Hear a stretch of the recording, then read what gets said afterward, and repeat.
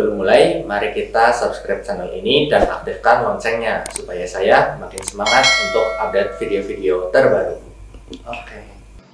Bismillahirrahmanirrahim Assalamualaikum warahmatullahi wabarakatuh Berjumpa lagi dengan saya Mas Furkoni Di video kali ini kita akan belajar bagaimana cara menghitung penjumlahan pecahan campuran Nah, untuk menghitung operasi ini ada dua cara yang bisa kita gunakan. Seperti apa caranya? Yuk kita simak contoh soal berikut ini. Mulai dari cara yang pertama. Di sini saya punya contoh soal yaitu 4 1 per 5 ditambah dengan 2 2 per 3. Langkah pertama untuk melakukan operasi ini adalah dengan cara mengubah bentuk pecahan campuran ini menjadi bentuk pecahan biasa. Di sini 4 1 per 5, berarti penyebutnya itu 5, maka pembilangnya adalah 5 dikali 4 itu 20, 20 ditambah 1, berarti pembilangnya adalah 21. Kemudian ditambah dengan 2, 2 per 3.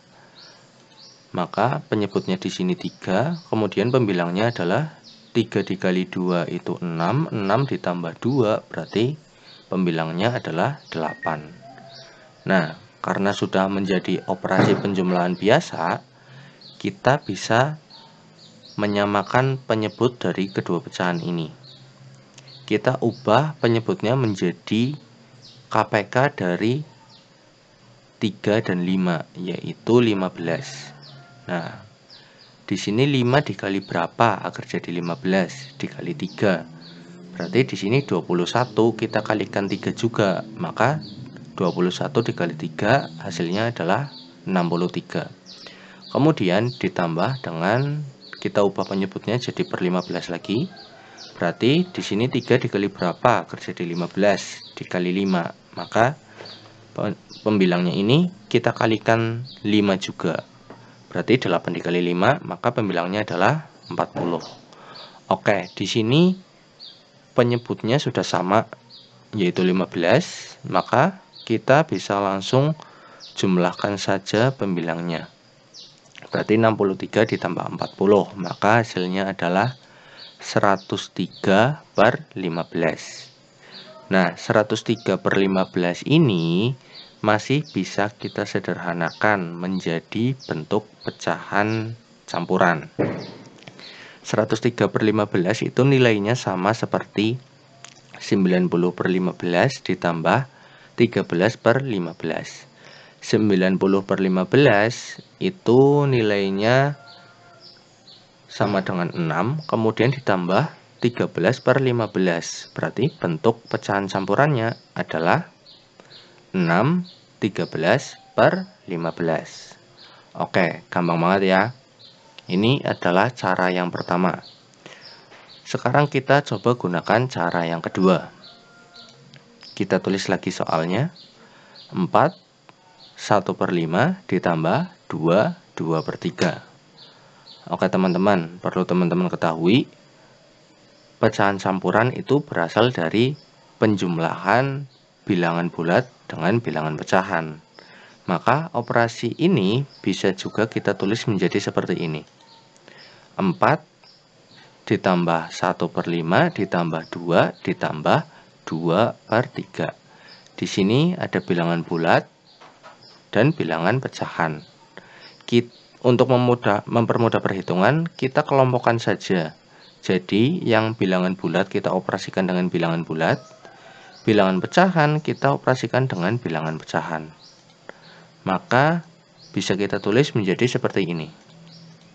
4 ditambah 2 ditambah 1 per 5 ditambah 2 per 3. Nah, yang bilangan bulat kita operasikan terlebih dahulu. 4 ditambah 2 itu kan 6.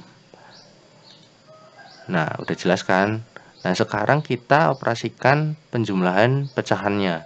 Kita ubah penyebutnya jadi KPK dari 3 dan 5 yaitu 15 berarti di sini per 15 5 dikali berapa agar jadi 15 dikali 3 berarti ini 1 pembilangnya kita kalikan 3 juga 1 dikali 3 itu 3 Kemudian ditambah dengan 2 per 3, kita ubah penyebutnya jadi per 15. 3 dikali berapa agar jadi 15? Dikali 5. Berarti 2 ini pembilangnya kita kalikan 5 juga. 2 dikali 5 itu 10. Nah, sekarang penyebutnya sudah sama-sama 15. Sekarang kita tulis lagi, berarti 6-nya ini masih kita biarkan terlebih dahulu. Berarti di sini 6 ditambah hasil penjumlahan ini.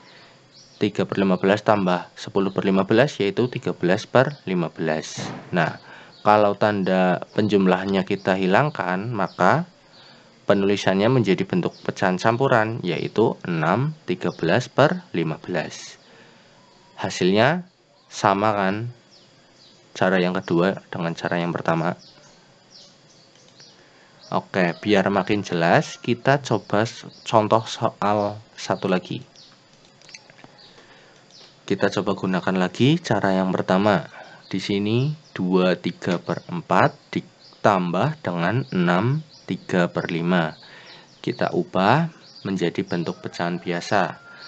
2 3 per 4 berarti penyebutnya itu 4 maka pembilangnya adalah 4 dikali 2 itu 8 8 ditambah 3 berarti pembilangnya itu 11 kemudian ditambah dengan 6 3 per 5 berarti di sini penyebutnya 5 pembilangnya adalah 5 dikali 6 itu 30 30 ditambah 3 berarti 33 oke sekira sekarang kita samakan penyebutnya jadi KPK dari 5 dan 4 yaitu 20 berarti di sini per 20 4 dikali berapa? Agar jadi 20 dikali 5 maka 11 ini kita kalikan 5 juga. Berarti 11 dikali 5 itu 55 kemudian ditambah dengan 33 per 5 kita jadikan penyebutnya per 20 5 dikali berapa? Agar jadi 20 dikali 4 maka 33 kita kalikan 4 juga. Maka hasilnya adalah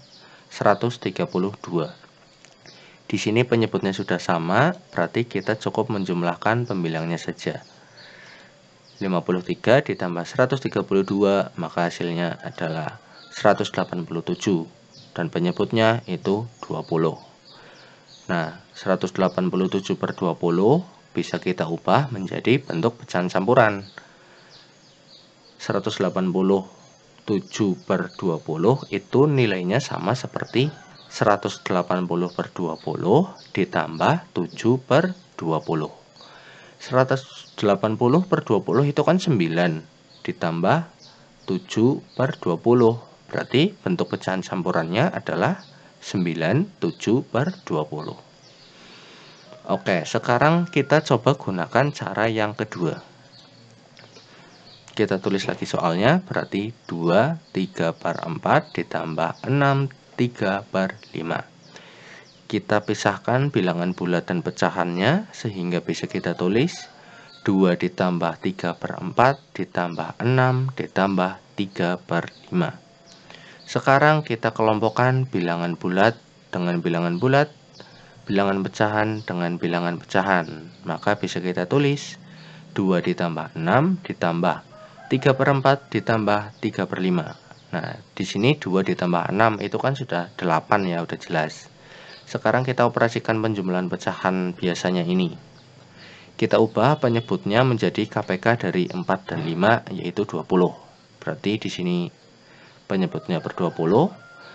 4 dikali berapa agar jadi 20? Dikali 5. Berarti 3 ini pembilangnya kita kalikan 5 juga. 3 dikali 5 maka hasilnya itu 15 kemudian ditambah dengan 3 per 5 berarti kita ubah penyebutnya menjadi per 20 maka pembilangnya ini berarti 5 dikali berapa agar jadi 20 dikali 4 maka pembilangnya kita kalikan 4 juga. 2 berarti 3 dikali 4 yaitu hasilnya 12 nah di sini penyebutnya sudah sama-sama per 20 kita langsung jumlahkan saja Berarti di sini 8-nya tetap ditambah dengan 15 tambah 12 itu 27. Penyebutnya tetap per 20. Di sini 27 per 20 itu masih bisa kita sederhanakan menjadi bentuk pecahan campuran. Nah, 27 per 20 kemudian ditambah 8. Ini kan bisa kita tulis nilainya itu sama seperti 20 per 20 ditambah 7 per 20. Di sini 8 ditambah 20 per 20 kan 1. Berarti 8 ditambah 1 ditambah 7 per 20. Nah, 8 ditambah 1 kan 9. 9 ditambah 7 per 20. Maka bentuk pecahan campurannya adalah 9 7 per 20 Nah ternyata hasilnya juga sama kan Oke teman-teman ternyata gampang banget ya untuk menghitung penjumlahan pecahan campuran. Teman-teman bisa menggunakan cara yang pertama dengan mengubahnya ke bentuk pecahan biasa Atau teman-teman bisa gunakan cara yang kedua yaitu dengan mengelompokkan bilangan bulat dengan bilangan bulat bilangan pecahan dengan bilangan pecahan Oke teman-teman, mungkin cukup sekian penjelasan dari saya. Semoga bermanfaat. Terima kasih. Wassalamualaikum warahmatullahi wabarakatuh.